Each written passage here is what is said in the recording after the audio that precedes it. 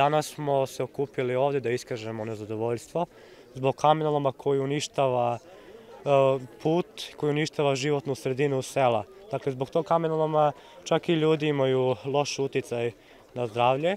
E, ovo je već peti dan kako protestujemo i nastavit ćemo sve dok se e, naši uslovi ne ispune, a naši uslovi su jasni da kamenolom održava put, i da se ne ugrožava životna sredina sela.